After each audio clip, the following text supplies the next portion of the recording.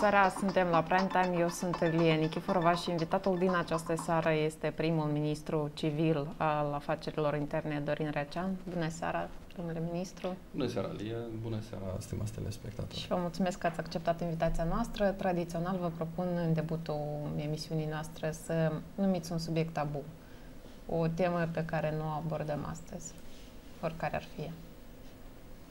Nu cred că nu putem aborda orice temă. Mai, uh, uh, da, ar fi un politicul. Politicul. Da, pentru că Ministerul Afacerilor Interne se ocupă de reforma în afacerile interne. Bine, eu respect uh, decizia noastră și atunci vă întreb că, uitați-vă, au trecut deja șapte luni de când dumneavoastră ocupați acest post și vreau să știu dacă v-ați uh, acomodat, uh, dacă aveți suportul, dacă v-ați făcut echipă, cum merg lucrurile merg conform planului. Noi, uh, luni, președintele a promulgat noua lege cu privire la poliție și uh, statutul polițistului. La 5 martie intră în vigoare noua structură organizatorică um, a poliției și a Ministerului Afacerilor uh, Interne. Respectiv, în toată această perioadă s-a muncit foarte mult și la structură și la regulamente noi, la fișe de post noi, la funcționalități noi, la reorganizări. În această uh, perioadă s-a luptat uh, intens și cu crima organizată și cu uh, fără de legile, cu asigurarea ordinii publice. Deci a fost o agendă destul de uh, intensivă. Și probleme pe interior, demisii, pentru că la câteva luni după ce dumneavoastră ați ajuns în fruntea acestui minister, Uh, se vorbea despre sute, chiar a depășit uh, o mie de, de angajați care au plecat din cadrul Dar Este normal ca într-un proces de transformare anumite persoane să poată să reziste și alții să, să, să plece. Este un proces absolut, absolut normal Dar și nu aveți, firesc. Nu aveți acum o insuficiență de cadre din cauza da, plecării? Pe sistemul, pe sistemul afacerilor interne avem o insuficiență de peste 1200 de persoane. Deci cam cei care au plecat sau funcțiile lor sau alte funcții? Deci uh, este, este, este vorba despre faptul că nu ne ajung 1200 de, de persoane în cadrul sistemului afacerilor interne, este vorba despre poliție și poliția de frontieră, în primul rând aceste două, uh, două subdiviziuni și mai avem la situații excepționale, protecție civilă și situații excepționale. De ce nu vin oamenii?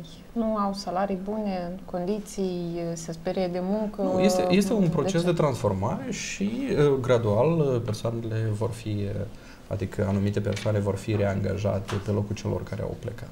Dumneavoastră nu aveți ce să vă reproșați personal, pentru că unii vă reproșează acest lucru, că oamenii pleacă poate Noi și putem să interpretăm noastră. lucrurile foarte diferit, dar dacă nu am avea o situație dificilă, nu ar fi fost nevoie să reorganizăm nici Ministerul, nici Poliția. Acum, toată societatea recunoaște că avem de rezolvat foarte multe probleme în ceea ce privește activitatea poliției, în ceea ce privește activitatea uh, Ministerului.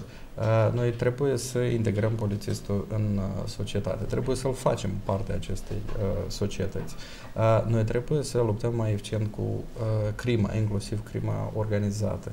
Trebuie să avem un sistem unde polițistul, dar și ceilalți uh, actori sociali, gen uh, Uh, primăria, școala, uh, chiar și poștașul, de ce nu, asistentul social, să contribuie la prevenirea și a, lupta mai activă cu violența în familie.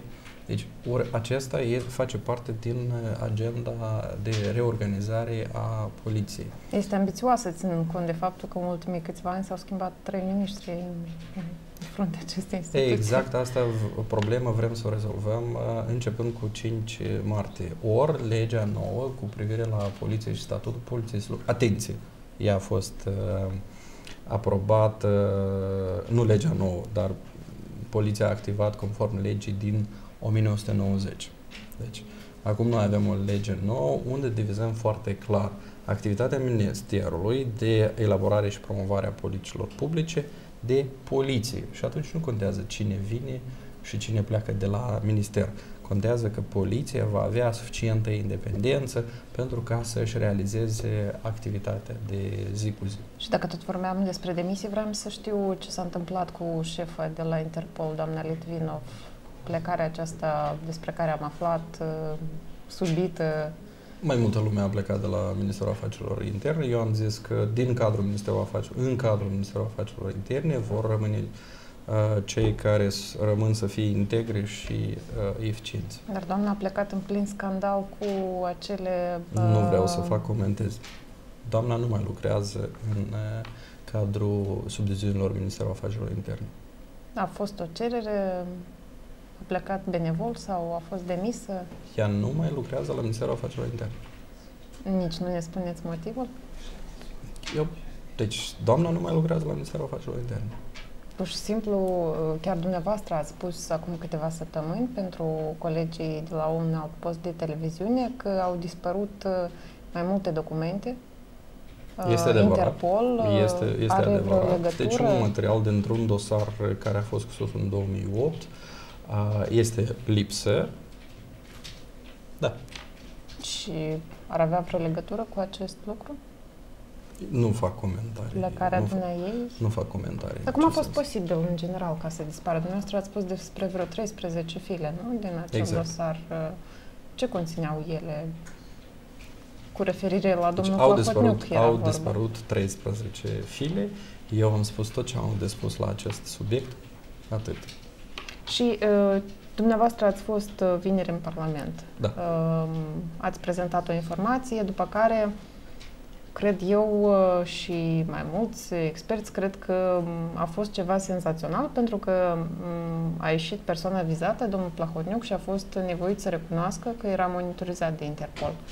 Uh, vreau să știu care vor fi în continuare acțiunile Ministerului de Interne deci, de acest caz. Noi uh, vom întreprinde acțiunile necesare dacă ele vor fi uh, solicitate. Și domnul Plahotniuc a spus că o să vă atace în judecată. A spus acum câteva săptămăni și vineri nu e exclus că va face acest lucru. Uh, dacă dumneavoastră nu vă deziceți de cele declarate pentru un post de televiziune, unde este, ați confirmat este, că este monitorizat Este dreptul fiecărui cetățean să acționeze în judecată atunci când uh, crede sau simte că drepturile au fost lezate. Este natural într-o societate democratică. Dumneavoastră considerați că i-ați fi lezat drepturile prin faptul că ați recunoscut că a fost monitorizat de Interpol? Toată lumea trebuie să fie foarte atentă la ce am declarat eu. Și dumneavoastră ce ați declarat? Eu am declarat și publicului că, nostru. Eu am declarat autenticitatea unui document și am mai declarat că 13 file dintre un, dintr-un dosar au dispărut. Asta a fost declarațiile mele. Și din ceea ce am văzut dumneavoastră, v-ați referit uh, și la conținutul acestor file. Eu am confirmat autenticitatea unui document public. Doi, am spus foarte clar că 13 file dintr-un dosar au dispărut, 6 deja sunt uh, recuperate. Asta ceea ce eu am spus. Și când va finaliza ancheta, ați spus că este și o anchetă internă? Deci trebuie, uh, trebuie să uh, reconstituim toate celelalte file. Nu pot să dau acum un termen uh, exact, dar obiectivul nostru este să reconstituim uh, în uh, uh, deci integral material. Și vorbeam ceva mai înainte despre încrederea populației față de um, activitatea instituției pe care o conduceți. Credeți că societatea nu își pune întrebarea ce urmează după asta? S-a Sunt constatat, sigur. dumneavoastră Sunt. ați venit, ați prezentat anumite informații la care uh, publicul larg nu a avut acces, s-a făcut cu ușile închise, vă respectăm decizia, ați spus că se face conform legii. Exact. Ce urmează? Întrebarea este pentru că acest scandal durează de câteva luni. Societatea este în drept să-și pună toate aceste uh, întrebări. Noi tot de asemenea trebuie să fim uh, atenți la ceea ce își dorește societatea. Și societatea vrea să se simtă în uh, voia ei, să se simtă sigură, să se simtă că există un mediu în care își poate, uh, pot exercita uh, drepturile, uh, să știe că atunci când are nevoie, polițistul este uh, alături, ajută. Iată, noi cu asta trebuie să, să muncim.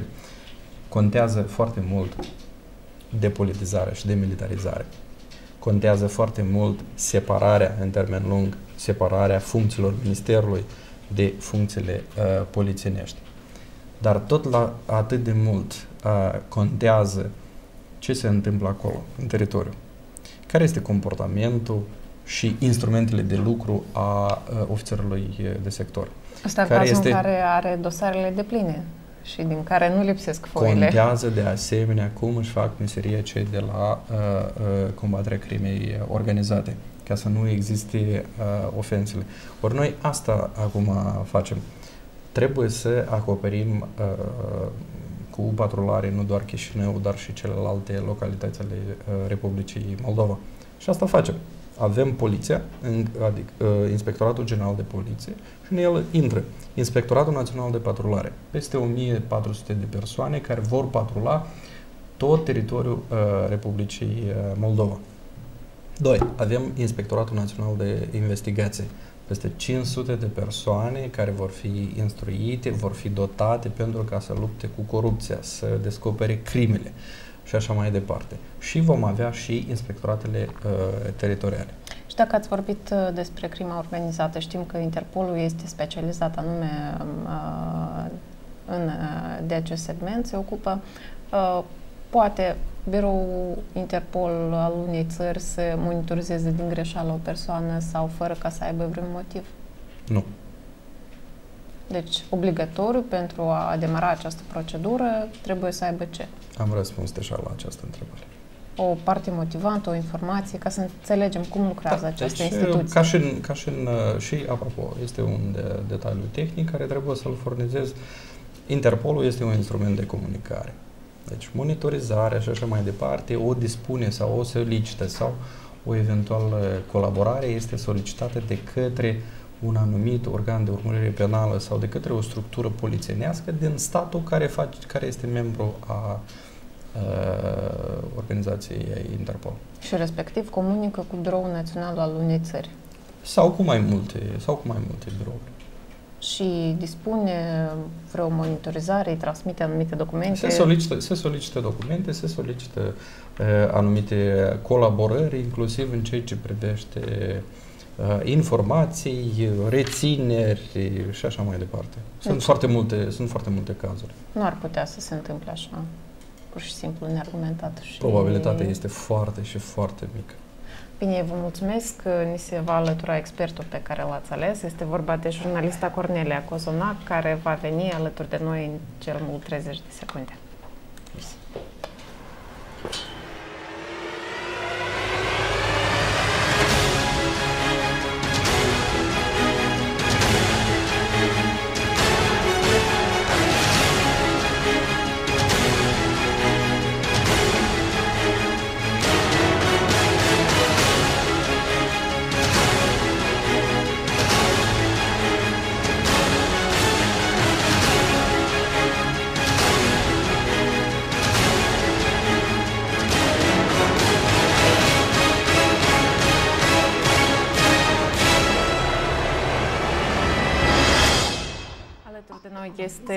ministrul afacerilor interne Dorin Recean și expertul pe care l-a ales oaspetele nostru, jurnalista de investigație Cornelia Cozonac. Bună seara, vă mulțumesc că ați venit la emisiune. Bună seara, bine v-am găsit.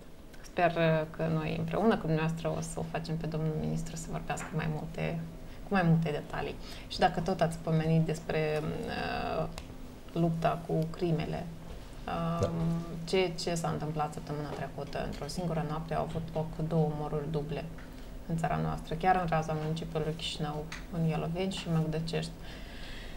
Uh, fără supărări, dar uh, se creează impresia că poliția nu are capacitatea să prevină asemenea crime. Ori, uh, conform reformei, din câte am văzut, ar trebui să se lucreze și pentru prevenire. Deci Ce trebuie să, facem, trebuie să facem o, o, o specificare aici. Unu, unul dintre aceste omori a fost descoperit în, în câteva ore. Uh, cel de la Măgdăcești urmează să fie descoperit și aveți promisiunea mea că foarte curând uh, vom uh, realiza și acest, și acest lucru.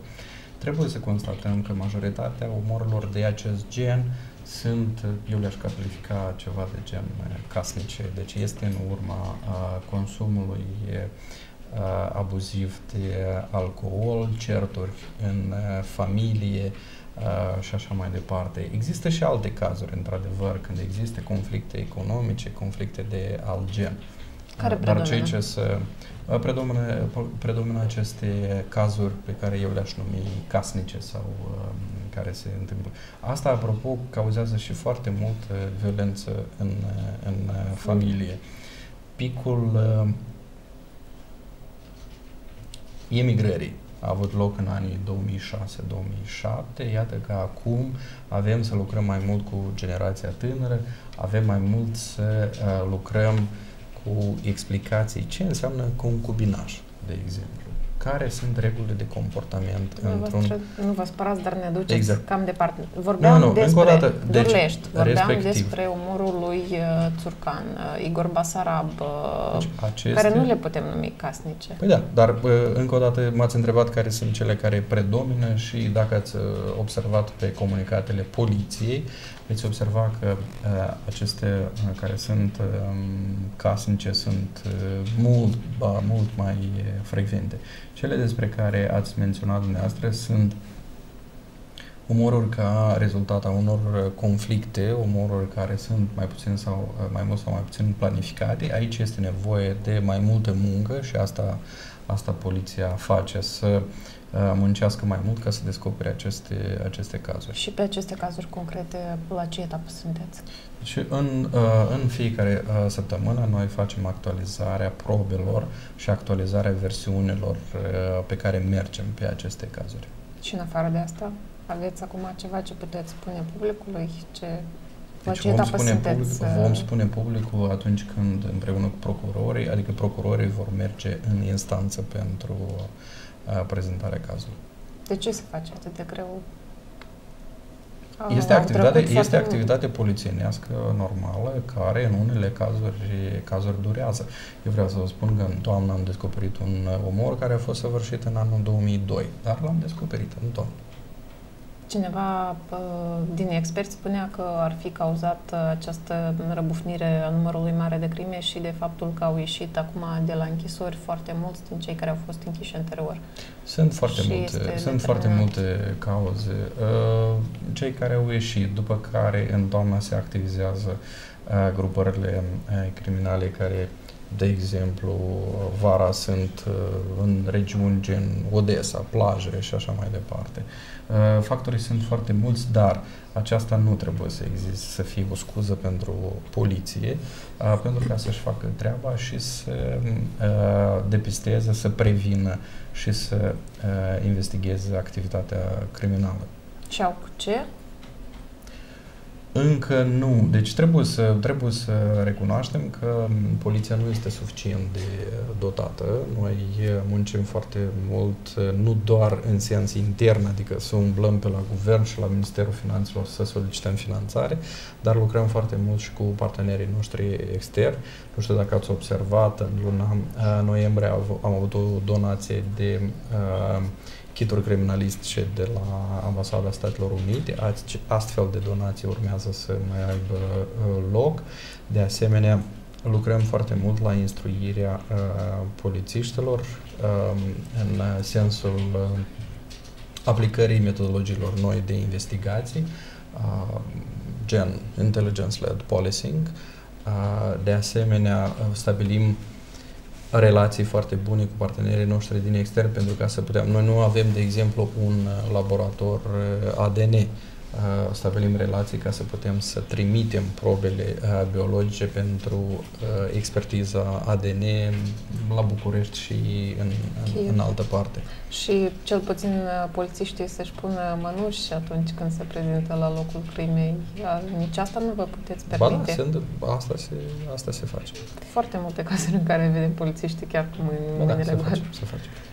Domnul ministru, eu vreau să vă întreb în același Da, context, în ce măsură polițiștii care descoperă crimele sunt motivați să o facă? Sau pentru că știm și imaginea poliției a fost una proastă în ultimii ani și se știe că mulți dintre cei buni uh, ar fi lucrat și în colaborare cu elemente din rețelele criminale sau acelea își pot permite să-i plătească mai bine, de exemplu, și uh, în ce măsură ministerul face motivant lucru polițistului care descoperă crime ca să descopere crime sau cazuri de corupție? Bun, există, haideți să, uh, să pornim de la premiză că uh, noi cu toții înțelegem, uh, înțelegem următorul lucru.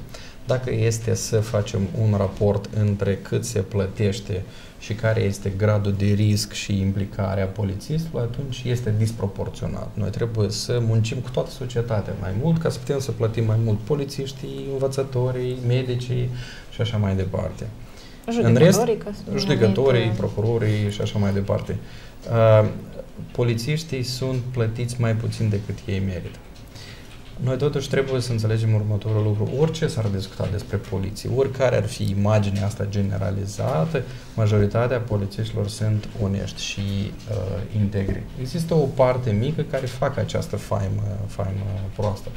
Sunt foarte mulți oameni care sunt dedicați. Ei sunt polițiști prin însăși natura personalității uh, lor. Și asta îi motivează foarte mult să descopere, să descopere crimele. Uh, noi, prin sistemul de motivare pe care îl construim, vrem să perpetuăm sau să ținem aprinsă această flacără pe care o au eu. Eu vreau să vă spun că, iată, chiar, chiar de curând am avut o experiență când criminaliștii au venit și toți în glas au spus uite, l-am identificat.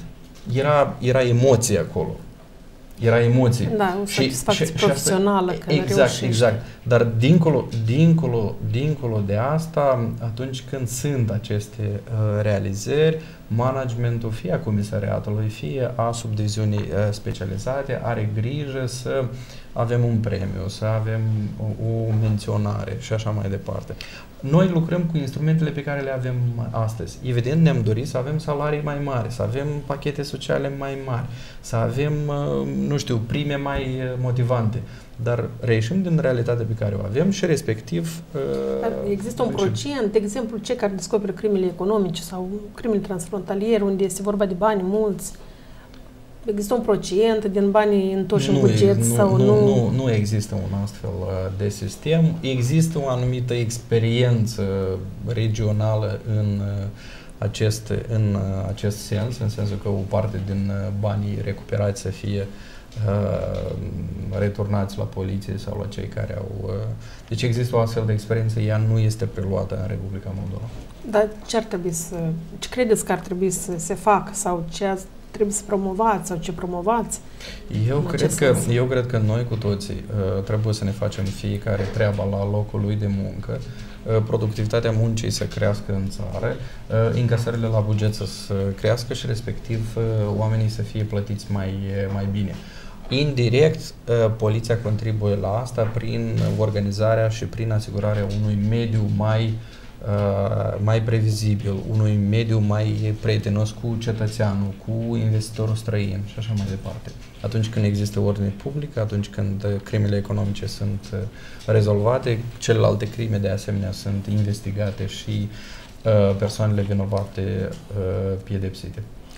Și în cazul în care vedem un polițist cu un salariu de 3.000 jumătate care se plimbă cu o mașină luxoasă, pe care efectiv nu și-o poate permite din salariu. Sau alte cazuri, chiar vorbisem cu un anchetator care a plecat recent din uh, și-a dat demisia pentru că nu mai rezista, fiind impus de superiorul său să-i aducă lunar o anumită sumă de bani de, pe care bine. să o acumuleze noi, din Noi minte. acum trebuie să înțelegem de ce este de asta e și, apropo, este un alt avantaj, un alt instrument pe care îl oferă noua lege cu privire la poliție și statutul polițistului. Acolo este vorba despre testul de integritate și despre monitorizarea stilului de viață. Uh, respectiv, uh, Departamentul de Securitate Internă al Ministerului Afacerilor Interne va putea eficient să monitorizeze astfel de situații și să primească decizii în baza la astfel de situații. Ori până la adoptarea acestei legi nu exista un instrument legal prin care ai putea să responsabilizezi pe cei care uh, nu se comportă adecvat sau eventual au venituri mai mari decât uh, cele să, oficiale. Să înțelegem, vor fi monitorizate declarațiile de avere Absolut. și situația exact, reală. Exact, exact. Și Departamentul de uh, Securitate Internă va fi uh, subordonat nemijlocit Ministerului uh, și el va monitoriza activitatea polițiștilor din uh, Poliția de Frontieră, Poliție, adică Inspectorat General de Poliție, Protecție Civilă, Situații Excepționale, Biroul de Migrație și Azil, trupele de carabinieri. Dar cum se va proceda la modul practic? Iată un polițist are o casă de milioane, cum se descoperă acum, mașini de lux și un salariu foarte mic. Cum există, există, ex, există proceduri, proceduri practice prin care, cum am zis, se monitorizează stilul de uh, viață a acestei uh, persoane, dacă cheltuielile sunt uh, și depășesc veniturile oficiale ale familiei, atunci uh, această persoană este subiect al investigațiilor și respectiv uh, responsabilizării. Noi până acum, chiar dacă am făcut investigații legate de averile judecătorilor, până acum nu avem niciun caz în care uh, s-ar fi cercetat sau până la urmă toate cercetările se termină cu nimic. Sau cu avansarea în funcție persoanele nu sunt pedepsite pentru că, deși nu, nici măcar nu le se cere să dovedească legalitatea averii. Păi, și... odată, cu, uh, odată cu intrarea în vigoare a uh, noi legi cu privire la poliție și a statutul polițistului, uh, deja există instrumentul legal prin care noi putem să responsabilizăm. Asta și era ideea, asta și era uh, intenția acestor modificări legislative pe care le-a realizat. Că vor fi anchete reale interne pe... Exact. Ele, ele deja, e, unele se, se, se întâmplă, dacă ați observat, astăzi a fost reținută în flagrant o persoană de la Poliția Rutieră care a organizat o schemă frauduloasă de colectare de bani de la polițiștii rutieri. Mai avem și alții 14 martori sau implicați pe acest era caz. A fost total reținut. de 16 persoane, nu? 15 a, persoane, dintre care unul era, era cel care, cel care organiza. Păi da, nu e vorba în cazul ăsta de un grup uh, organizat criminal care nu s-a constituit în vreo trei zile. De când îi monitorizați? De când păi noi am ocupa? realizat acest lucru pe parcursul ultimilor 3 sau 4 3, 3 săptămâni și puțin. Și credeți că ei uh, în 3 săptămâni s-au organizat? Nu, ei nu s-au uh, organizat în 3 săptămâni, doar că noi, atunci când identificăm o problemă, o vulnerabilitate, atunci uh, facem ceea ce este necesar pentru ca, unu, să curmăm, dar foarte, de asemenea foarte important este să responsabilizăm. Altfel, dacă pur și simplu, iată cum, cum, uh, cum s-a menționat aici, dacă pur și simplu noi stopăm activitatea ilicită, asta nu este suficient. Trebuie să și responsabilizăm. Eu vreau să vă întreb, tocmai în contextul acesta, cu ce se termină anchetele pe cazurile în care s-au depistat polițiști implicați în afaceri dubioase, criminale sau cei cu probleme de integritate. Da, fie că, fie că... S-a schimbat de când ați venit dumneavoastră, dar bănuiesc că aceste schimbări oricum impun și o rezistență și o... Păi da, este, este absolut uh, normal ca sistemul să reziste, dar iarăși, cum am spus, majoritatea polițiștilor își doresc schimbare. Majoritatea polițiștilor, uh, sunt foarte mulți polițiști de vocație, respectiv ei vor ca profesia să fie onorată, vor ca profesia să fie de prestigiu. Ei însuși își doresc această schimbare. Ei însuși își doresc să se curățe de colegii care sunt fie uh, Uh, nu sunt integri, fie sunt, nu sunt uh, eficienți. Uh, și vroiam, vroiam să vă zic că o parte din, din persoane pur și simplu pleacă, alții sunt demiși și unii chiar sunt deferiți justiției. Și avem un prim apel pe cineva care ar vrea să vă adreseze o întrebare. Bună seara! Alo! Есть? Михаил Викторович, э, мы вас слышим. Задавайте свой вопрос.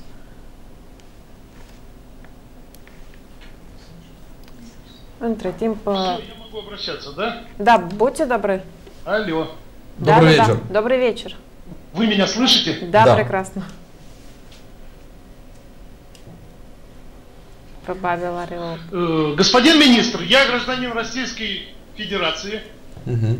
бывший инвестор в Республике Молдова. В 2009 году группа преступников вместе с замкомиссара одного района меня обворовала. Материал сейчас находится в суде сектора Буйкан у судьи по уголовному преследованию. Есть уже четыре постановления судьи по уголовному преследованию о доведении этого материала до уголовного дела. Угу. Сделать это невозможно, так как зам, замкомиссара, бывший работник э, Центра по борьбе с коррупцией, знает всех прокуроров антикоррупции, они ему как родные, и, естественно, все это гасится. У меня вопрос прямой. Могло бы МВД забрать этот материал, так как там замешан сотрудник МВД, и расследовать, ну, скажем так, службой собственной безопасности? или следователям совместно с службой собственной безопасности. Правильно, правильно будет, чтобы вы потребовали, чтобы этим занималась только прокуратура. Так, э, она занимается. Они делают отказы раз в полгода, я это протестовываю через судью по уголовному преследованию, и это тянется уже годами. Вы меня спросили, меня как, как, деньги, как это документы. юридически правильно? Юридически правильно, если вы не доверяете э, э, полиции, которая ведет это следствие, и у вас есть предположение, что есть конфликт интересов, вы вправе а, обратиться э, в прокуратуру, чтобы они полностью забрали э, уголовное дело в, э, в прокуратуру для ведения следствия. Дело в том, что я эту процедуру уже прошел я обращался к председателю парламента, он дал поручение генеральному прокурору бывшему. Они то, забрали то, что района, я, то, что я могу, то, что я могу сделать, это то, чтобы вы э, прислали э, конкретные данные об этом э, случае, чтобы мы сделали э, внутреннее расследование, как этот э, э, досар, э, как это дело было, было реализовано. Спасибо вам большое Хорошо. за ваш вопрос. Спасибо, да. У нас еще вопросы есть от э, Vladimira. Domnule ministru, ați vorbit frumos despre necesitatea unui salariu mai mare pe care îl merită polițiștii, însă nu puteți, nu recunoașteți că anume acum salariile polițiștilor s-au redus. Cum se explică o astfel de, de neconcordanță? Ba nu, nu s-au, nu s-au uh, redus salariile polițiștilor. Iată, noi am realizat o creștere de salarii la uh, Poliția de Frontieră. Urmează și noi acum lucrăm cu uh, Ministerul Finanțelor ca să creștem salariile la Poliția Rutieră, unde sunt cele mai mici salarii pe sistem și va urma și urmează și negocierile pe care le avem cu guvernul ca să putem să creștem salariile pe sistem în general. Deci nu s-a admis nicio micșorare de salarii, ba din contră, parcursul anului 2012 a fost o creștere de aproximativ 10%. Uh, și vreau să vorbim despre perchezițiile de la Comisariatul General de Poliție care au avut loc acum o lume. Nimic greu uh, să calific lucrurile astea drept percheziții. Noi nu am fost la nimeni uh, acasă. Noi am păi... fost într-un oficiu care este al uh, poliției, care se subordonează Ministerul Afacerilor Interne. Cal- este o măsură care a fost necesară în virtutea dosarului de investigație internă care se întâmplă acolo. Uh, s-a spus după asta că au fost descoperite acolo peste 300 de CD-uri cu convorbiri telefonice interceptate. Este adevărat, s-au, s-au, s-au stabilit mai multe, s-au stabilit mai multe, nu trebuie să facem speculații aici. Noi știm că sunt CD-uri și sunt, uh, știm că ele nu trebuiau să fie acolo, știu că, uh, știm că au fost materiale secrete care nu trebuiau să fie, știm că acolo erau dosare neadecvate și așa mai departe. Astea sunt faptele, noi nu trebuie să le speculăm. Dar uh, există o informație veridică că cineva de acolo, din comisariat, uh, nu că patrona, dar uh, se ocupa de trafic de heroină. Ce înseamnă există o uh, informație veridică? Acolo sunt mai multe nereguli. Și asta, de asta și s-a intervenit în modul în care s-a intervenit, pentru că existau nereguli și în, în rezultatul anchetei interne se vor produce uh, schimbările care sunt necesare. Inclusiv și se va cerceta acoperirea asta, protejarea da. unei filiere Deci se vor cerceta absolut toate, absolut toate cazurile de abuz. Absolut toate cazurile de abuz. Pentru că știm Asta vreau să zic, iarăși fără ca să speculăm.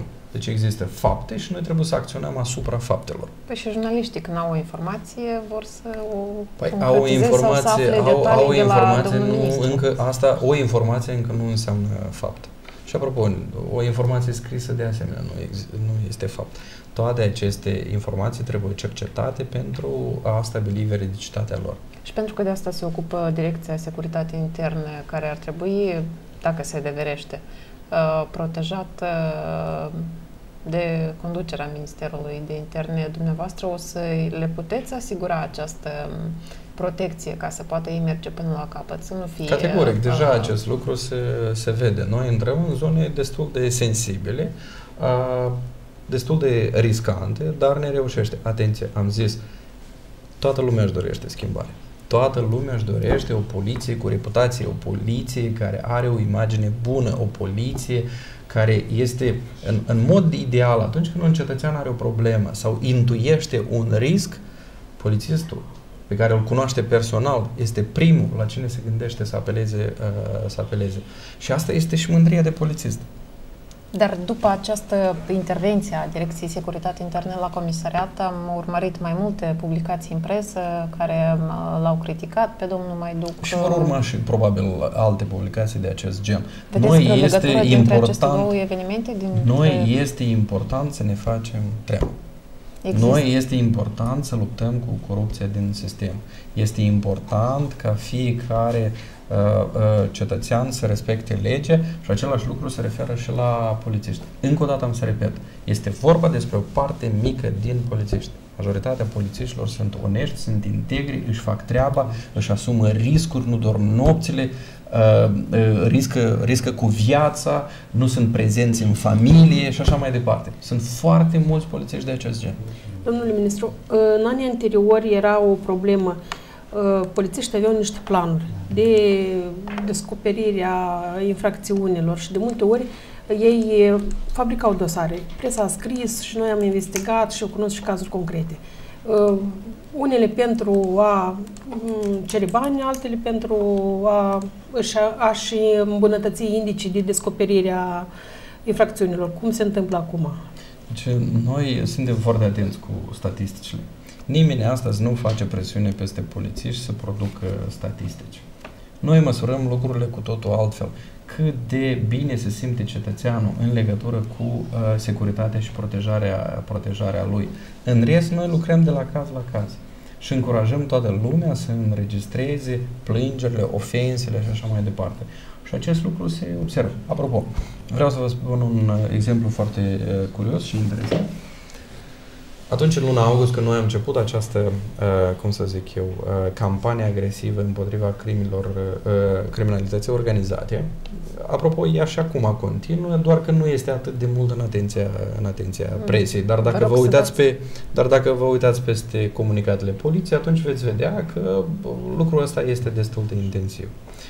Spuneam, Rog ca în luna august, să fim mai succint pentru exact, că avem... În luna, în, în luna august, când am început acest lucru, noi, evident, uh, captam aceste, aceste grupări, se vedeau la televizor și noi întrebam uh, populația și cetățenii să ne spună dacă nu au fost ofensați anterior. Vreau să vă spun că la început nu era încredere sau era frică și până la sfârșitul lui septembrie, practic, nimeni nu, se, nu s-a sesizat. Începând cu sfârșitul septembrie, începutul lui octombrie, lumea a început să vină și să zică, da știți, iată, cela sau cela m-a ofensat atunci, atunci, atunci. Iarăși, noi nu zicem că acest trend este reversat deja, dar mai avem de muncit ca să recăpătăm încrederea în uh, cetățeanului în poliție și atunci este evident că vom avea mai multe cazuri de ofense înregistrate. Este ceva normal. Și avem un interlocutor. Bună seara! Alo! Здравствуйте! Добрый день.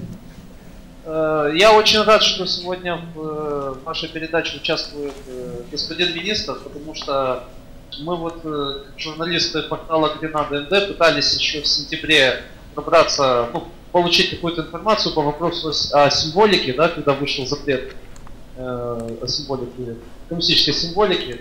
И мы тогда, значит, обратились в... Ну, convenit că nu discutăm subiecte politice. Обратились вначале в канцелярию МВД, нам сказали, что мы можем даже по интернету, значит, добиться аудиенции. Ну, мы подали заявку по интернету, нам никак, к сожалению, потом не ответили. Потом мы, значит, зарегистрировали свое заявление, сказали, что у нас будет прием в какой-то там день, когда министр принимает граждан. К сожалению, это тоже не было. Вот, извините, что так долго объясняю, это просто хочу сказать о том, что действительно очень хорошо, что сегодня можно задать какие-то вопросы. Задавайте, тогда не тратьте время. Спасибо вам за это. И у меня вот такой вопрос. Господин министр, вот как правоохранительные органы определяют какую меру нужно там принимать в отношении тех людей, которые, допустим, носят на своей футболке запрещенный у нас в стране коммунистический символ серп и молот. Это можно делать или это nельзя делать? Вот если я буду гулять по городу Кишиневу, меня за это там арестуют, задержат или оштрафуют, что будет? Bine, în primul rând vreau să vă spun, dacă nu era să fie insistența uh, Lii Nichiforova, eu nu era să fiu în acest uh, studio. Așa că vă rog să-i mulțumesc uh, foarte mult uh, Lii. Și eu vreau să-i mulțumesc Lii pentru faptul că a insistat și eu am, am, am venit uh, aici. Eu nu vreau să fac uh, interpretări. Poliția își face meserie atunci când este cazul, inclusiv atunci când este vorba despre aplicarea unor legi mai, mai sensibile. Спасибо вам большое. У нас еще один... Ну, подождите, можно еще, если можно, еще один вопрос, очень важный, по поводу памятников. У нас э, за последние годы, да, в Молдове было вандализировано много памятников в честь Великой Отечественной войны, да, ну и не только, и вообще на политической почве, памятники Ленину были вандализированы и так далее. И, к сожалению, еще ни один случай осквернения памятников, э, советских памятников э, не был раскрыт правоохранительными органами. Э, с чем это связано, господин министр? Eu nu vreau să comentez anumite uh, speculații. Poliția își, fa- își face treaba, își face meseria și investigează absolut toate cazurile de ofense, inclusiv cele despre care le-ați menționat dumneavoastră. Спасибо вам, Павел. У нас еще один дозвонившийся, тоже Павел. Добрый вечер. Алло, добрый вечер. Вы нас слышите? Алло. Я хочу поприветствовать. Вы меня слышите, да? Да, да, Da, да. добрый вечер.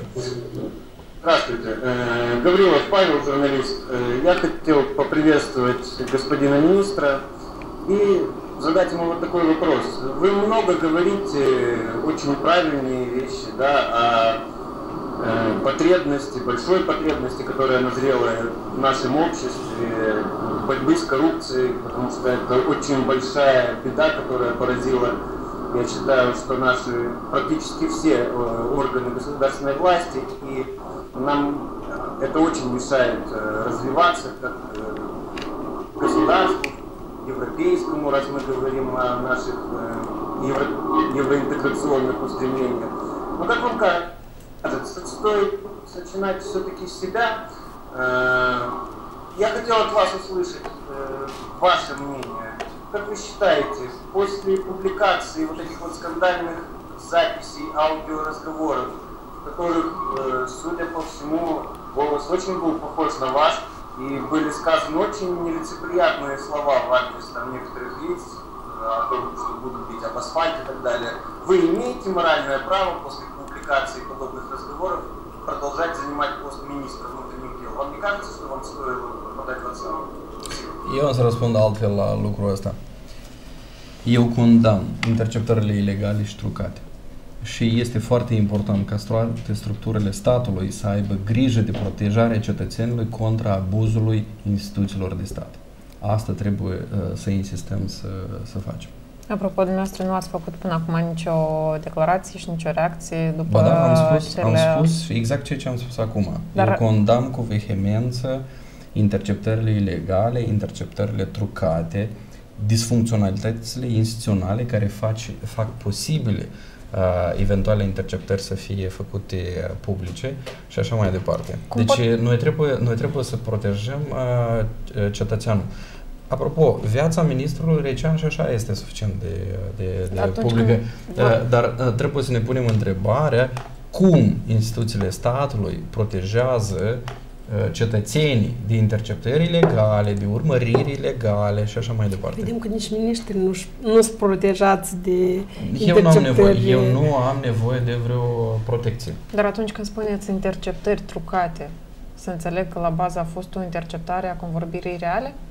Care a fost trucată sau ce aveți în vedere? eu nu știu despre ce e vorba. Ceea ce eu, uh, ceea ce eu uh, afirm este că nu trebuie să admitem să facem interceptări ilegale și nu trebuie să admitem să avem uh, lucruri sau materiale uh, audio trucate. Audio Dar dumneavoastră, în calitate de cetățean, puteți solicita o anchetă sau puteți da în judecată pentru aceste interceptări. Cel mai important, eu, în calitate de cetățean și în calitate de ministru, să mă asigur că uh, sistemul uh, de uh, interceptare, sistemul de uh, investigație și așa mai departe care are loc inclusiv în uh, cadrul uh, poliției să respecte drepturile cetățenilor care sunt subiectul investigațiilor.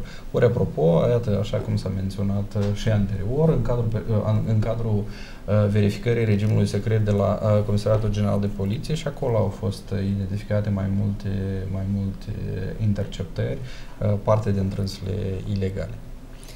Dar uh, Ministerul de Interne va face o anchetă, va iniția... Da, da, este, este, este în desfășurare. Această anchetă trebuie să sfârșească uh, cu dosar în procuratură și respectiv responsabilizarea persoanelor care să fac uh, Uh, adică responsabiliz- uh, responsabilizarea persoanelor care au comis aceste fără, Apropo, fără de lege. Dacă vorbim despre dosare pe care le-a instrumentat Ministerul de Interne, astăzi am văzut... Poliția, nu Ministerul de Interne, Poliția. Poliția. Am văzut astăzi un comunicat uh, de presă al instituției pe care o conduceți despre metal feros și da. despre dosarele pe mai multe capete de da. mai multe chestiuni, spălare de bani și evaziune fiscală, care au fost preluate de procuratură.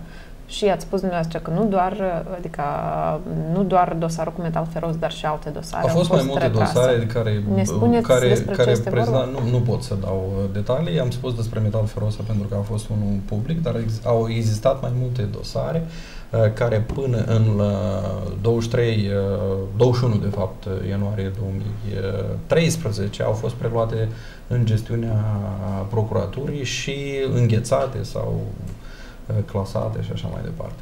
Des, totuși, despre ce dosare era vorba? Despre mai multe dosare.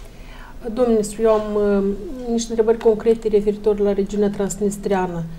Există un acord de colaborare cu miliția din regiunea transnistreană sau în baza la ce se colaborează? Sau dacă nu se există, colaborează? Nu există un acord de colaborare. Uh, acordurile care au existat au fost uh, denunțate. Uh, anterior. Uh, astăzi uh, este obligația poliției să asigure ordinea publică și să asigure protejarea intereselor cetățenilor Republicii Moldova pe întreg teritoriul Republicii Moldova. Și noi depunem efort maxim pentru ca să ne încadrăm în legea existentă, dar să facem actul justiției să funcționeze. Uh, într-un fel ne reușește, vreau să vă spun că tot mai multă și mai multă lume uh, vine și depune plângere în comisariatele uh, adiacente, uh, inclusiv de pe malul stângului nostru. Și la modul practic se pot face cercetări uh, sau se poate la modul, la modul practic, anchetă? aceiași polițiști dedicați uh, profesiei, după care, care vă spuneam, își asumă riscurile și investigează astfel de cazuri. Toamna sau vara, în iulie, societatea civilă a criticat Ministerul de Interne pentru faptul că cineva din Ministerul de Interne a oferit informații structurilor miliției din Transnistria despre anumite cazuri care sunt în cercetare acolo. Uh, vreau să vă întreb dacă s-a inițiat vreo anchetă, pentru că, din câte știu, s-au dat date personale despre membrii familiei în cazul... Uh, s-a, s-a inițiat o anchetă, ancheta asta este mult mai amplă pentru că a fost nevoie să implicăm și uh, Centrul Național pentru Protecția Datelor cu caracter personal. Uh, această anchetă cuprinde și analiza cadrului de reglementare Uh, din uh, uh, Republica Moldova și noi aici chiar discutam, um, cred că acum vreo șase săptămâni cu Promolexul, pentru că ei sunt specializați în acest domeniu. Societatea, noi toți avem nevoie să găsim un model corect de protejare a cetățenilor Republicii Moldova pe întreg teritoriul Republicii Moldova. Dar în gestiunea, o să întrebare referitor la zona transnistreană, în gestiunea Ministeriei Poliției, Există dosare pe scheme frauduloase prin regiunea transnistriană pentru că uh, eu am niște informații și la care lucrăm acum la o investigație, că sunt foarte multe firme care au legătură cu firme din Transnistria, se cumpără produse de acolo, se dau aici facturi, adică există da, niște da. scheme există, frauduloase. Există, există uh, scheme frauduloase pe care le investigează poliția în comun cu uh, cei de la FIS, dar și cu cei de la uh, uh, VAMă în ceea ce privește uh, dosare de contrabandă, dosare de uh, spălare de bani, dosare de evaziune fiscală și așa mai departe, unde sunt utilizate uh, scheme economice prin care fie marfa, fie banii uh, au circulație pe ambele maluri ale Nistrului. Și care sunt rezultatele în acest sens? Uh, unele, unele din trânsele au fost, uh, au fost uh, reflectate, uh, au fost și în ceea ce privește uh, marfă fără accize uh, provenită din uh, Transnistria, au fost uh, uh dosare de evaziune fiscală uh, implicate, deci uh, eu nu am să vă spun acum concret, dar dacă, iarăși vă uitați, nu știu dacă ați observat, dar dacă ne uităm pe site-ul poliției, în fiecare zi, în fiecare zi sunt publicate rezultatele fie uh, a, a dosarelor pe care noi le petrecem, inclusiv din da, această zonă. statistică Nu, la nivel, sunt dosare, sunt dosare concrete, cu descrieri, cu date, cu cifre și așa mai departe, cu uh, ofense concrete, cu uh, sume concrete. Vă rog, chiar, chiar vă rog să, să urmăriți. Dar după data de 23 decembrie nu am văzut uh, acolo la statistică înregistrat uh, să fie înregistrat incidentul care a avut loc în pădurea domnească. Deci uh, el nu a fost, nu a fost comunicat corespunzător și aceste lucruri vor fi corectate după ce uh, uh, procuratura și va sfârși treaba și uh, va fi realizat nimic jlocit actul justiției. Și dosarul pe care l-ați deschis pe vânătoare pe ilicită? Vânătoare, pe vânătoare ilicită, el avansează, o facem împreună cu procuratura. Pe acest dosar uh, lucrăm și lucrăm destul de bine împreună cu procuratura. Va fi un dosar evident foarte dificil, dar uh, vom insista el să fie realizat. Uh, domnul Jizdan uh, a fost demis, a plecat, uh, are vreo legătură cu Domnul Jizdan s-a, domnul Jizdan s-a retras din funcția de uh, director al Direcției Generale de Servicii Operative. Atât are vreo legătură cu concluzia la care a ajuns Comisia Parlamentară de Anchetă, precum că a știut și nu Domnul a comunicat? Jizdan s-a retras din această funcție, atât ce, tot ce pot spune la acest subiect. Și avem o întrebare de la Dumitru Munteanu. Când va începe Ministerul de Interne operațiunile de combatere a transportului ilicit pe direcția Cahul-Chișinău? Deci aceste operațiuni se întâmplă uh, constant. Noi am venit cu o inițiativă la Ministerul Transporturilor și Drumurilor, dar și la Ministerul Tehnologiei, Informației și Comunicațiilor, pentru ca să nu fim intruzivi, ca poliția rutieră să nu oprească pe fiecare uh, în parte, este să avem numere de culoare distincte, adică plăcuțe de culoare de uh, culoare distinctă, pentru ca polițiștii să oprească doar pe cei care nu, uh, într-adevăr, să fie vizibil cei care sunt uh, iliciți. Apropo despre uh, poliția artieră, uh, se presupunea și s-a mai vehiculat că uh, există niște scheme în care ar fi fost posibil implicați cei care au fost astăzi reținuți și suspectați pentru luare de mită, corupere pasivă, în uh, protejarea uh, falsurilor în documente de înregistrare a mașinilor, în uh, uh, re, refacerea numerelor de caroserie, Dar, dar asta se referă nu la uh, poliția rutieră, pentru că ei nu au nimic cu înregistrarea uh, automobilelor. Da, dar ei ridică plăcuțele de înmatriculare. Păi și... Ei ridică plăcuțele de înmatriculare, acolo este vorba despre altceva. Apropo, un caz de acest gen a fost uh, descoperit de către uh, poliție. Erau angajați, uh, erau implicați, uh, angajați din mai multe structuri de stat, inclusiv a poliției, dar nu poliția de frontieră. Ah, Sunt alte și dacă de, despre poliția diviziuni, diviziuni, diviziuni care uh, eventual sunt uh, implicate. Acest caz se cercetează și uh, urmează să fie responsabilizați. Spuneau că în respectiva schemă ar putea fi implicați și cei de la poliția rutieră și cei de la registru care uh, sunt mai multe, sunt mai multe care, uh, structuri care eventual sunt uh, implicate în astfel de scheme de, scheme de uh, import și comercializare a automobililor uh, furate. Apropo, uh, noi acum lucrăm foarte eficient cu organizațiile internaționale și cu organizațiile de schimb informațional internaționale, inclusiv uh, Interpol, uh, uh, SCI sau uh, SELEC și așa mai departe și avem instrumente foarte eficiente de combatere a acestui uh, fenomen. La care instituții v-ați referit? Nu, nu, eu mă refeream la inclusiv informația care vine prin canalele Interpol despre automobilele care sunt uh, furate în nu, ați spus spațiul despre implicarea, despre implicarea și altor instituții nu vreau, să dau, uh, nu vreau să dau detalii. Sunt uh, alte instituții care sunt responsabile pentru fiecare din, cele, din etapele necesare pentru ca un automobil să fie înregistrat în Republica Moldova. Mersi. Avem o întrebare de la Василий, господин министр, почему вы не говорите, что обыски в дорожной полиции напрямую связаны с совместной, это, да, но не сон, напрямую связаны с совместной деятельностью офицеров полиции с госпредприятием Регистру? Дело Лилия. Уважаемый господин министр, как стало возможным появление в Молдове недавно коронованного криминального авторитета? Известно ведь даже, что у него грузинское происхождение. Deci nu știu pe cine are în vedere telespectatorul. Ceea ce vreau eu să vă spun este că noi monitorizăm activ situația și înțelegem foarte bine că nu este suficient să lupți cu criminalitatea organizată, nu este suficient Uh, să elimin elementul uh, criminal sau să zicem capul unei grupări criminale. La de asemenea, este foarte important să nu admiți ca alți capi să, să crească. Noi urmărim foarte atent cine vine în țară, cine pleacă în țară din, uh, din, acest, din acest moment. Astăzi noi suntem foarte atenți la cei care sunt eliberați din, din, din închisoare, cei care pot deveni potențial uh, uh, cap de grupări criminale. Uh, și, după cum spuneam, odată ce, uh, vă ziceam, se creează în poliție Inspectoratul Național de Patrolare, Inspectoratul Național de uh, Investigație, Inspectoratul Național de Investigație cu cei peste 500 de persoane care Uh, care vor face parte din acest sistem uh, vor, uh, vor monitoriza situația și vor insista să lupte cu crima organizată.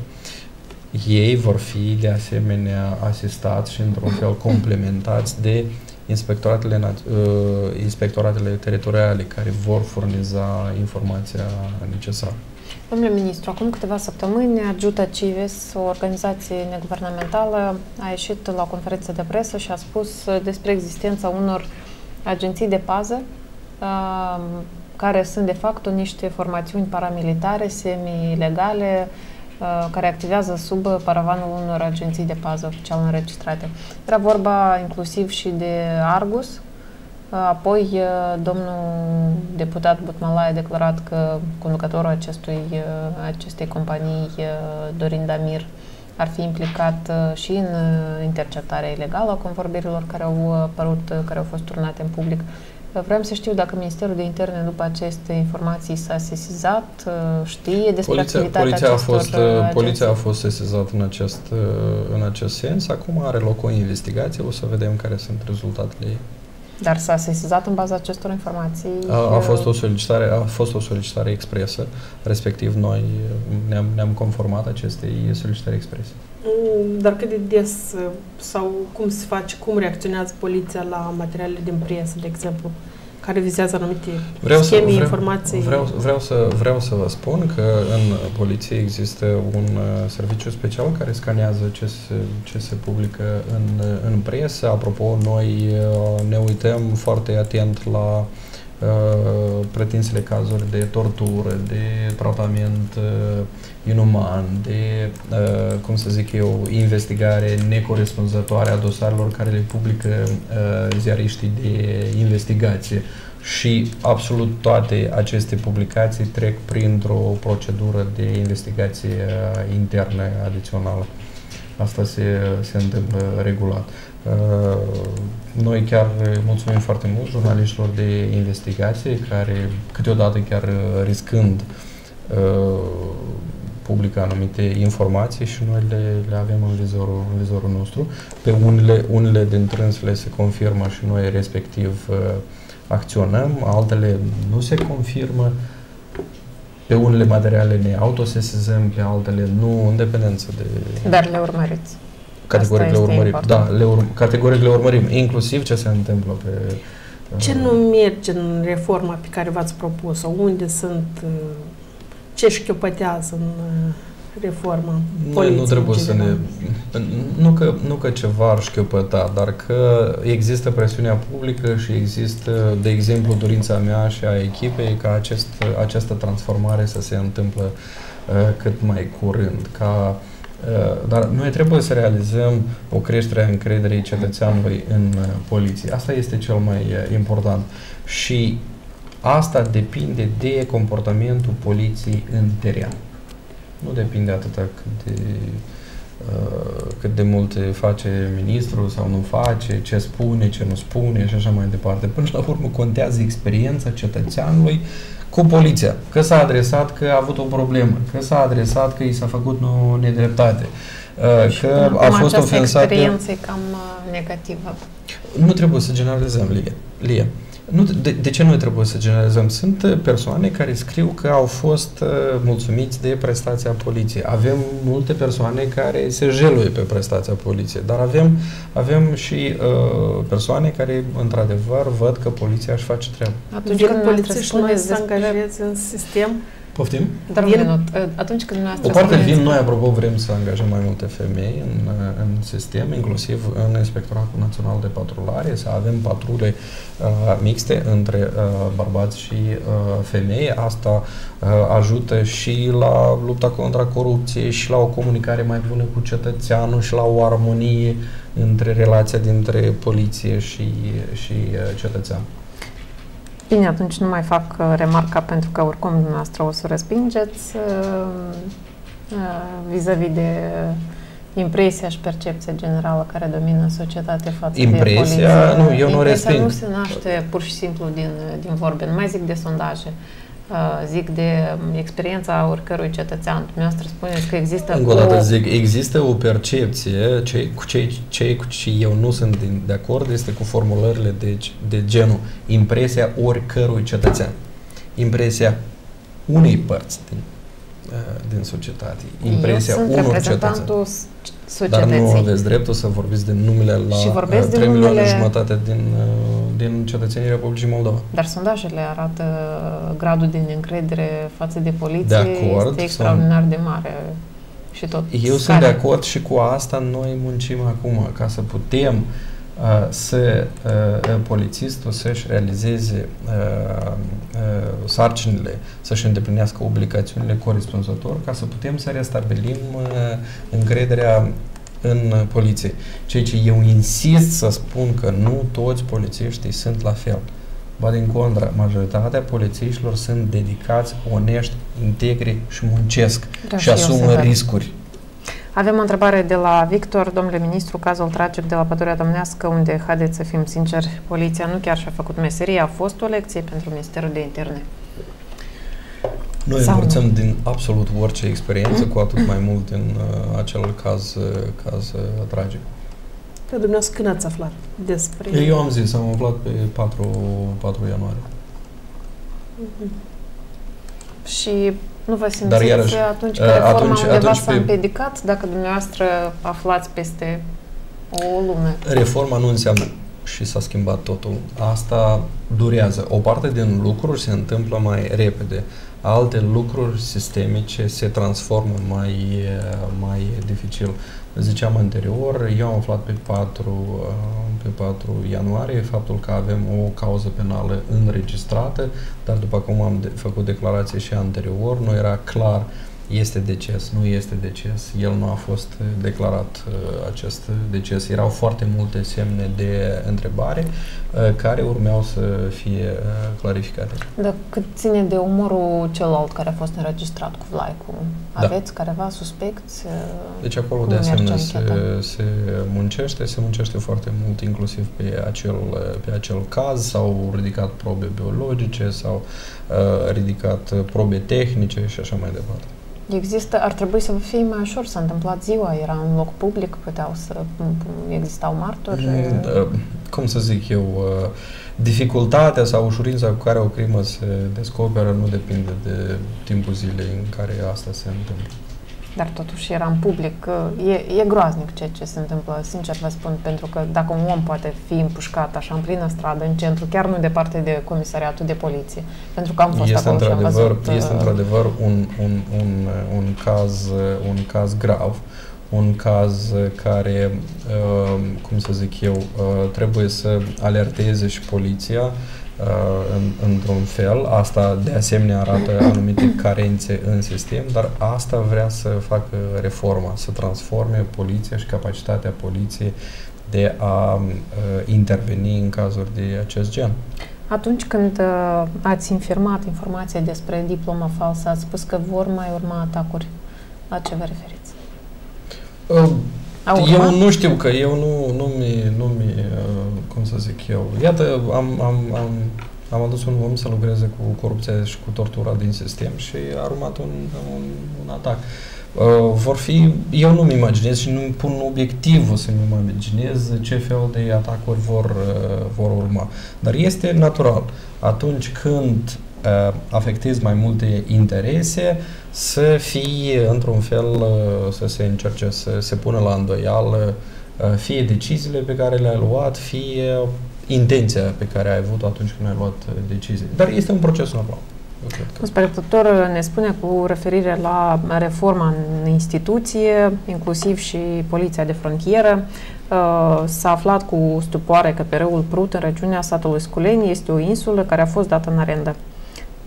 Ce fel de arendă poate fi pe râul Prut și uh, în zona de frontieră și dacă se înscrie păi, trebuie, în legal. Trebuie, trebuie să vedem despre ce este vorba, ce insulă, dacă ea există, dacă există uh, acest, uh, această relație de arendă și așa mai departe. Nu putem să vorbim în general. Da, o luați ca informații ca să verificați?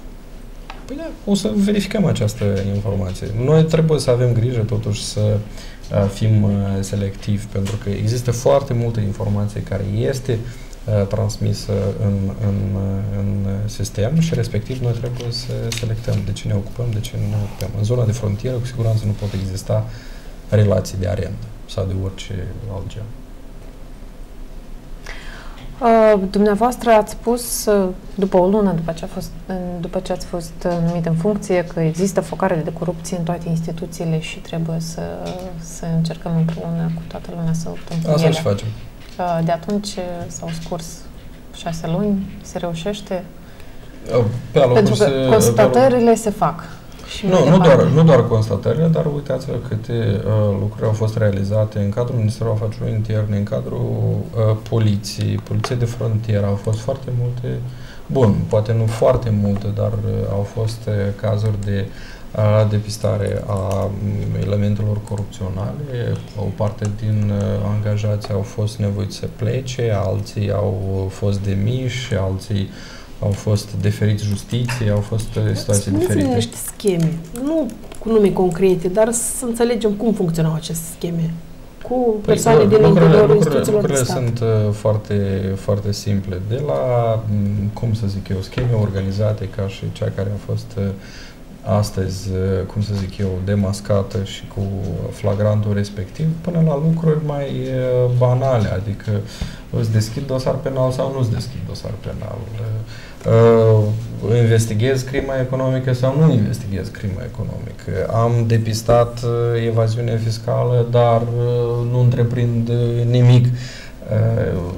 sunt foarte, sunt foarte, foarte diferite lucrurile și ele sunt uh, banale. Nu este nimic complicat, nu este nimic uh, sofisticat, doar că uh, Vă rog să, să înțelegem cu toții că sistemul afacerilor interne cuprinde aproximativ 19.000 de persoane. Este important ce fel de sistem uh, de securitate internă realizezi, el trebuie să fie eficient, el trebuie să fie economicos, că n-ai să pui peste fiecare persoană, o altă persoană care să o, să, să, să o vegheze, să o urmărească.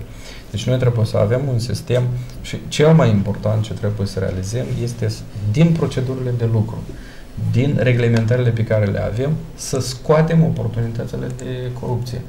În poliția rutieră, de exemplu, uh, camere de înregistrat, sisteme de video monitorizare, sisteme GPS care sunt uh, instalate, sisteme de raportare a um, opririi automobililor și așa mai departe. Toate aceste lucruri sunt uh, în realizare. O parte deja uh, sunt realizate. De exemplu, peste 100 de automobile deja sunt echipate cu sisteme GPS unde noi vedem foarte clar cine și unde se uh, uh, mișcă dacă se... Fără ca să existe o posibilitate ca să evite polițistul nu există o posibilitate. Înregistrarea conform legii, nu, a procesului verbal deci, a tuturor. Aici, aici încă, încă, încă lucrăm, vom avea un sistem că în momentul în care automobilul a fost uh, oprit, această oprire este declarată la sistemul centralizat, la serverul central, de asemenea se declară automat și motivul pentru care a fost uh, oprit, după care se verifică rezultatul opririi, adică cu ce s-a terminat această experiență. Fără, fără motiv pot opri mașinile? Nu, nu pot, uh, nu pot opri fără motiv decât în cadrul operațiunilor speciale, gen 0 grade, nopțile albe, Uh, și așa mai departe. Iată, când sunt orga, uh, organizate aceste operațiuni speciale, oprești pe, pe urșicini. Deci un cetățean, ca să știe drepturile, să-și cunoască, ar putea să întrebe agentul respectiv. Exact, care este motivul care este pentru motiv? care a fost... Și dacă nu a răspunde, fost... ce trebuie să facă cetățeanul? Atunci trebuie să, să, să nu, nu, trebuie să-l denunțe. Nu se poate să nu să se conformeze, pentru că este omul legii acolo, dar îl denunță oricând la, la poliție, la 902, de exemplu, uh, se denunță o, o stopare ne, neconformă. Mersi pentru sfat. Și noi, apropo, reacționăm întotdeauna la lucrurile astea. Și aveți astfel de apeluri? Lumea se încumetă? Sună... Da, sunt apeluri, sunt uh, petiții. Да. O întrebare mai avem pe Skype. Планируете ли иные интеграции в МВД структур, как это было с пограничниками, и за счет каких подразделений может увеличиться МВД? Нет, не планирую. Dar condițiile de angajare acum sau criteriile s-au schimbat de când ați preluat dumneavoastră funcția? Nu, nu trebuia să fie schimbat criteriile de angajare. Nu trebuia să le fi respectat pe cele care, care există. Funcțiile care s-au eliberat vor fi anunțate publice pentru, pentru concurs și respectiv asta, asta vom face. Mm-hmm. În cadrul audierilor la Comisia Parlamentară de Anchetă în cazul vânătorii domnești, premierul a recunoscut și a constatat disfuncționalitatea instituțiilor democratice în Moldova. Nu credeți că este... Instituțiilor de stat. Democratice. Vorbim de funcționarea instituțiilor Dacă vorbim despre, despre instituțiile democratice, ne dăm în politică și noi am zis că noi nu discutăm asta. Statul de drept, de fapt, mai ah. degrabă. Păi nu știu dacă e vorba atât de politică, e vorba totuși de un sistem de funcționare a unor, da. în baza unor principii general valabile și okay. spre care tindem. Uh, nu vă pare un lucru periculos și cum îl vedeți, uh, cum vedeți soluțiile pentru îmbunătățirea situației? Dacă îmi puneți o întrebare mai concretă nu vă pare periculos atunci când se atestă și se contestă uh, inclusiv la nivelul unui prim-ministru o asemenea deraiere de la normă? Noi de asta și suntem în acest proces de transformare, că există probleme în instituțiile de, de stat. Uh, ele nu trebuie interpretate ca un fel de catastrofă, nu trebuie de interpretat ca lipsă statului în general, trebuie interpretate ca disfuncționalități, în anumite cazuri disfuncționalități grave, care trebuie să fie corectate prin reformele, dacă este vorba despre instituțiile de drept, atunci există reforma uh, justiției și respectiv se întreprind măsurile necesare pentru asigurarea, de exemplu, a independenței reale a judecătorului, a independenței procesuale reale a procurorului, a independenței reale a organului de urmărire penală, a depolitizării, de exemplu, poliției sau altui organ de urmărire penală și de asigurare a implementării legii. Dar eu cred că Cornelia o să fie de acord cu mine că ceea ce s-a întâmplat uh, pe 23 și despre, decembrie și despre ceea ce am aflat după 6 ianuarie, cred că a demonstrat o situație dezastruoasă. A prezentat o situație gravă, a prezentat o situație de politizare a unor uh, instituții, uh, dar uh, cu aceasta se, se, se lucrează. Într-adevăr, este un lucru foarte grav ceea ce s-a întâmplat. Pentru că a scos la iveală foarte multe probleme. Asta, până la urmă, și este bine, pentru că societatea trebuie să, să, să cunoască aceste lucruri și eu cred că este o oportunitate foarte bună ca instituțiile statului să impulsioneze și să crească accelerația cu care fac reformele. Dumneavoastră, cum credeți? În situația asta, ce ar fi de făcut dacă toată lumea s-a dat și-a dat vina de pe umerii unuia pe celuilalt, responsabilitățile la fel au fost pasate? Trebuie să vedem ce vor spune anchetele, ce vor, care, vor fi, care va fi finalitatea și uh, cu ce vom ajunge, adică ce schimbări vor urma, pentru că, într-adevăr, uh, cazul Pădurea Domnească a scos foarte multe carențe și, și eu zic la fel, bine că, bine că este un incident tragic și nu trebuia să întâmple să moară cineva, dar faptul că s-au scos multe carențe la iveală de nu, arată că sunt probleme și trebuie schimbate și deja vom vedea câtă voință va avea clasa politică pe de o parte ca să impună aceste schimbări și sistemul din interior ca să facă schimbările. Pentru că uh, de exemplu, eu aș aștepta de la polițiștii care sunt onești, despre care spune domnul ministru, să, să se revolte atunci când au elemente uh, necorecte, cu reputație, cu care se implică în scheme frauduloase, să-i scoată ei din sistem, adică să existe o, și în cazul procurorilor, procurorilor la fel, eu aș aștepta, pentru că, de exemplu, eu uh, mă revolt și noi încercăm atunci când printre noi sunt ziariști sau instituții media care nu sunt corecte și noi tot avem foarte multe nu elemente, dar probleme la capitolul integritate sau corectitudine deontologică. Și este normal ca din sistem să vină această revoltă de, și dorința de a schimba lucrurile. Pentru asta cred că ar trebui să simtă o protecție atât de mare încât să-și permită să-și denunțe colegii, să... Apropo, referitor la denunțuri sau la cât de protejați sunt cetățenii care, nu neapărat denunțuri, care comunică cazuri de corupție sau cazuri despre um, implicarea unor polițiști în fapte de corupție, pentru că noi știm că în sistem uh, toți sunt cunoscuți și Uh, se anunță.